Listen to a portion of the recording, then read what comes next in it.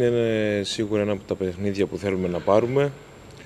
Ε, δουλεύουμε πάνω σε αυτό τον τελευταίο καιρό, την τελευταία εβδομάδα. Θα πάμε να συνεχίσουμε τη, ε, την καλή μας απόδοση και αν, ε, αν παίξουμε όπως παίζουν τον τελευταίο καιρό νομίζω ότι όλα θα είναι ευχάριστα. Είναι ένα πάρα πολύ σημαντικό παιχνίδι για εμάς. Ε, πιστεύω ότι αν κάνουμε αυτά που δουλεύουμε στην προπόνηση και ακολουθήσουμε το προπονητικό πλάνο τότε θα είμαστε εμείς νικητές. Ε, τη βλέπω πολύ καλή μέρα με τη μέρα, γινόμαστε καλύτεροι σε όλους τους τομείς.